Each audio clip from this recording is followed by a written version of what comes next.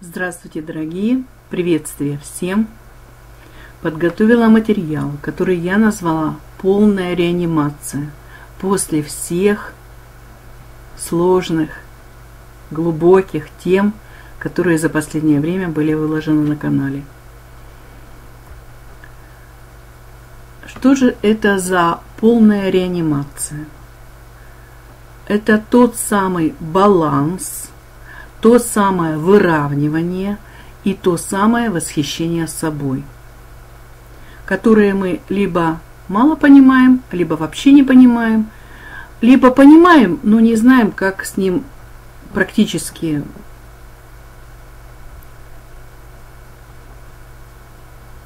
взаимодействовать. Думаю, очень многим людям вообще непонятно, что такое баланс – Вообще непонятно, что такое выравнивание. А о восхищении собой так вообще говорить не приходится.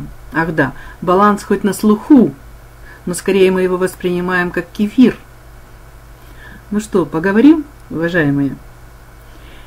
Если договора это как-то непонятно и глубоко, это где-то в непонятном бессознательном, то баланс и выравнивание гораздо ближе и понятнее.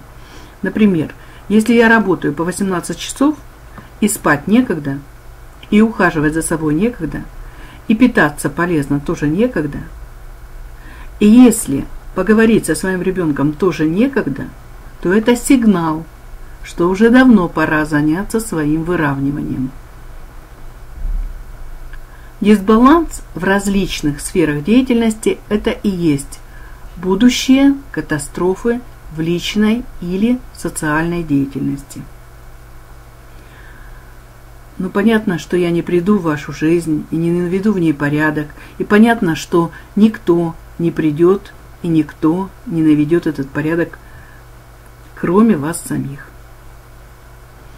Ну а что мы по привычке делаем? Мы по привычке либо мечтаем, либо у нас побег будущее, либо побег в прошлое. И практически при этом нам ничего не светит. Поэтому мы закрываемся в своей ракушке и как бы оттуда не высовываемся лишний раз. Остается серьезно заняться собой. А почему я сейчас об этом говорю? Потому что сама раньше не понимала. Потому что именно мне э, приходится так напрягаться – а рядом кто-то очень в развалочку получал такую же зарплату и еще усмехался. От работы кони дохнут. И вот теперь я просто делюсь тем, что мне стало понятно и что действительно возможно изменить или выровнять, чтобы жизнь была в радость. Во-первых, надо признать, что в моей жизни дисбаланс – если вы этого не признаете, то ничего дальше не будет. Первое, что мы, как мы взаимодействуем с этими вещами, это мы признаем их. Поэтому надо сказать себе, да, я признаю, что я живу в дисбалансе, и я желаю действительно его выровнять.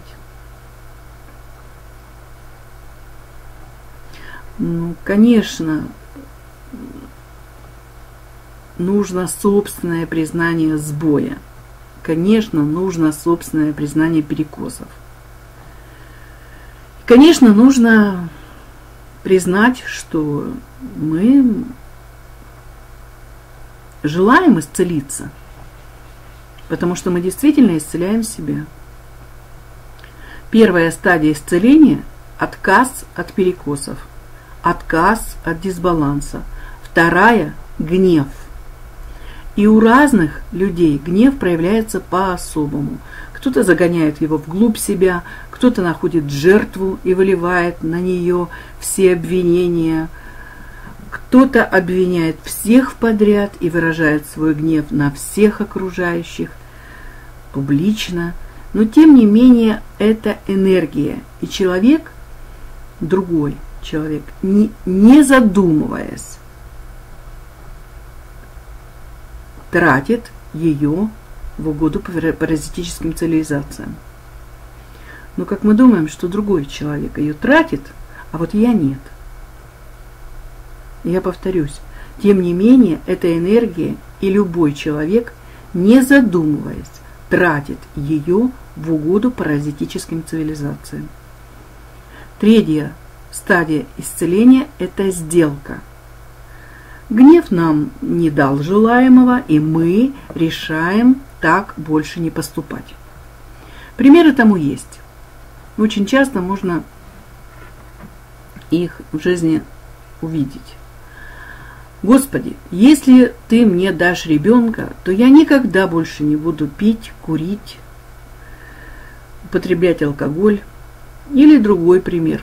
Господи, верни мне жену, и я никогда изменять ей не буду. Таких обещаний можно сколько угодно найти.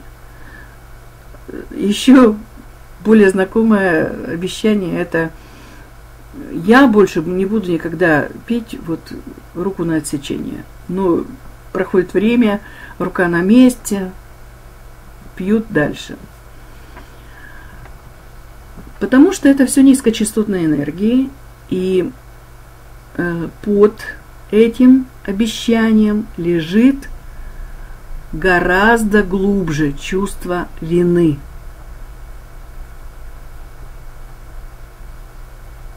И вот когда мы признаем то, что мы действительно себя обвиняем во всем, то легче будет и справиться с этой стадией исцеления как сделка. Четвертая стадия исцеления – депрессия. В это время наша энергия находится на очень низком уровне, потому что мы утратили надежду получить желаемое привычным способом. Мы пытаемся сделать вид, что нам все равно, но нам не все равно. И если вы позволите ощутить в себе потерю и вылиться вашей скорби, то тогда ваша депрессия пройдет. Чего бы вы на самом деле не лишились, вам это необходимо оплакать. Потому что, по сути, это маленькая смерть. Может быть, это вы потеряли какое-то состояние, проиграли дом, я не знаю. Умерла жена или муж, погиб ребенок, не знаю, сосед умер, все равно. Любая трагедия, она приведет вас к депрессии. И когда вы действительно позволите своим чувствам выйти, вам станет гораздо легче, и вы захотите продолжать свое достойное существование в этом мире. Пятая стадия исцеления – это принятие. После чего, как вы потеряли достаточно времени, энергии и внимания на четыре предыдущих стадии, помните отказ, гнев, сделка и депрессия. Вы начинаете ощущать свои истинные потребности.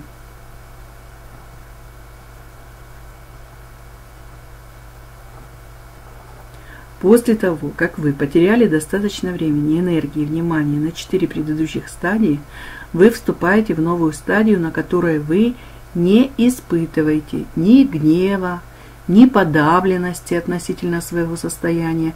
Вы начинаете ощущать свои истинные потребности и ищите поддержки в тех областях и в тех формах, которых ранее не искали. Вас тянет ко всему новому. Вы совершаете в вашей жизни необходимые перемены. Этот процесс ускоряется по мере роста веры в себя – Шестая стадия исцеления – рождение заново. проявление нового света. Принятие и исцеление ведут к новому рождению. Времени заново встретиться с самим собой. На этой стадии вас потребуется много времени, проведенного в тихом уединении, чтобы узнать себя. Огромное количество света поднимается в ваших внутренних глубинах. Посмотрите на этот свет. Увидьте его красоту. Вдохните его аромат. Вкусите свою новую личность и насладитесь ею. Вы отыщите новые внутренние ресурсы, которые были не в состоянии реализовать до сих пор. Возможно, вы всегда ощущали, что у вас они есть. Но сейчас они начинают подниматься на поверхность, и это может сделать для вас э, какое-то открытие, это может стать для вас новым рождением. Вы измените свое отношение ко всем аспектам своей жизни. Все становится иным. И часто новое рождение начинается со смирения перед величием природы.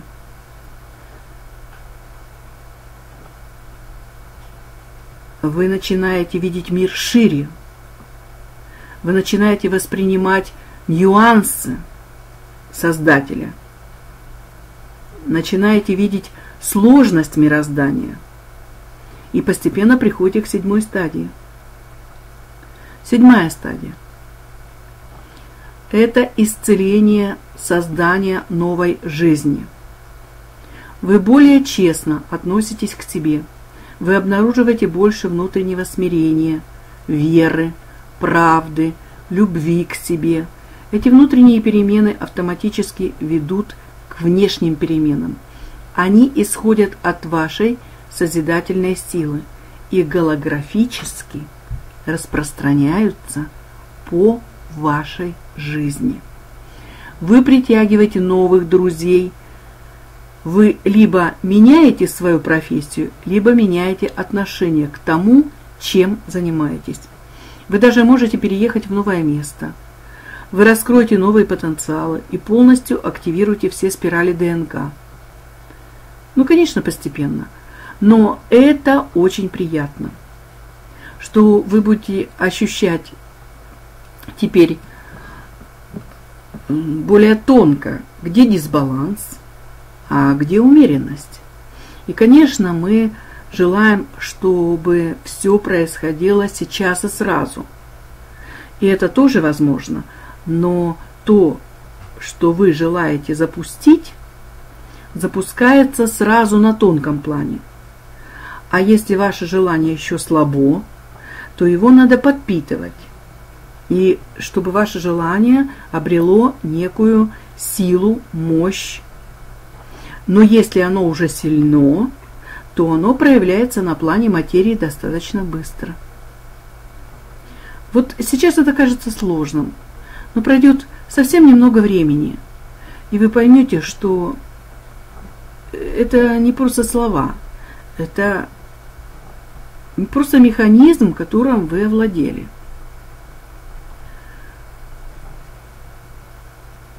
Я могу еще раз повторить. Конечно же, мы желаем, чтобы все происходило сейчас сразу, но это тоже возможно. Вы желаете запускать программу на тонком плане, и если ваше желание сразу слабо, то его нужно подпитывать.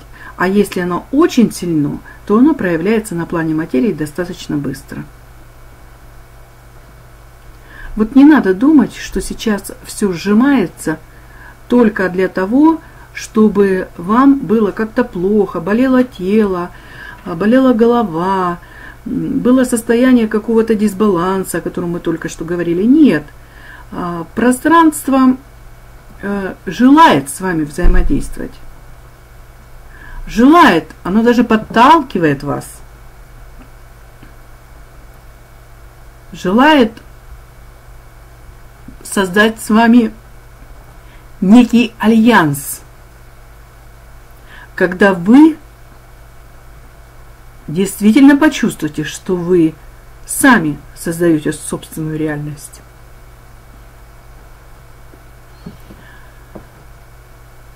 Возможно, да, возможно, это какой-то длительный процесс, вам покажется, но на самом деле это при глубоком понимании, ну, все не такое сложное. Но сейчас мне хочется активировать просто волшебную вашу способность, которую мы часто проявляем по отношению к кому-то – но практически никогда по отношению к себе, и это тоже дисбаланс. Я говорю сейчас о восхищении собой, о восхищении своей божественной природой. Вот прямо сейчас, да, не откладывая на потом. Ну а что нам мешает? Кто нам мешает? Может, президент какой-нибудь страны? Вот произносите сейчас вслух и нежно. Опять, это кому это интересно. Никто никого не заставляет. Вот если вам это интересно, то вы вот произнесите вслух и нежно. А можно даже тихо или шепотом. Я восхищаюсь собой. Я восхищаюсь собой.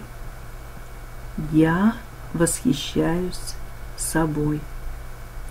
Я восхищаюсь тем, как уникально меня создал Творец. Я божественное творение Создателя. Если мы уже запутались в этом Боге, Создателе, Творце, Абсолюте, как хотите – Возьмите, назовите это просто отец, мать, сын. Все. Все. Упростите для себя, чтобы у вас была в голове ясность. Вот знаете, даже не важно, какими словами это все называется, важно внутреннее, мое внутреннее понимание, и все. Я – божественное творение Отца. Это энергия одобрения и принятия, и она творит чудеса. Это и есть ваша реанимация. Ну, получили вы какое-то шокирующее известие. Ну, эта информация для вас, ну, просто беспокойная какая-то, не, не дает вам возможности находиться в состоянии тишины внутренней. Вы возьмите и себе помогите. Станьте более могущественны. Вот прямо здесь и сейчас.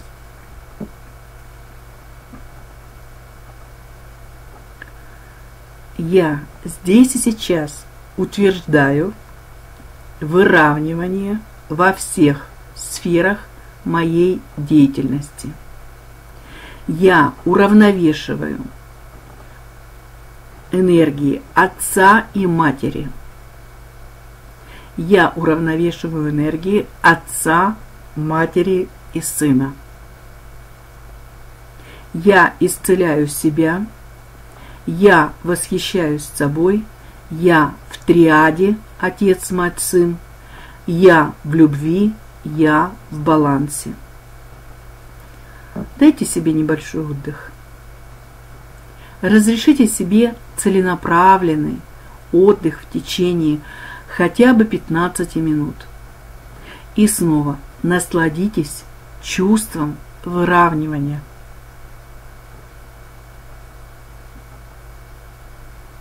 И снова одобрите себя – и восхититесь своей жизнью. Помните сказки о богатырях? Мы затаенной завистью хотели быть похожими на них. И о волшебниках. Мы тоже хотели быть волшебниками. Так вот, это время настало. Богатырь – это тот, кто тырит Бога, то есть стяжает дух, а кто нам, большому коллективу, мешает стяжать дух. Стяжайте – Вот не тратьте себя на ерунду, сомнения, критику, недовольство, зависть и ненависть. Остижайте дух, поощряйте себя, восхищайтесь собой. Знаю, спросите, а волшебник? Хорошо, волшебник. Где? Вол, воля, ше, доброжелательство, шана, ше, смирение. Рассмотрите э, внимательно букву ша. Три столба, три единства, отец, мать, сын. А по низу, в плане материи, они все соединены. Эта буква Ш похожа на три зубец э, Украины, Индии, царя морей Посейдона.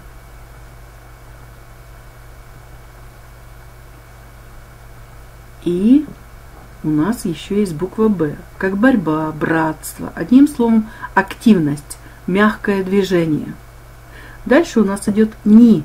Это как продолжение в бесконечность. И буква К замыкается на тебе и только на тебе. Она как замочек, буква К. Вот он и волшебник. И когда вы будете рассматривать вот так вот слова – вы будете понимать, что за каждым словом стоит целый образ. Вот этим вот, в общем-то, русский язык и славится образностью. Ну что, фиксируем, уважаемые, нашу с вами реанимацию. Я всегда могу одобрить и восхититься собой в любой момент. Я всегда могу одобрить и восхититься собой. Я исцеляюсь каждый миг.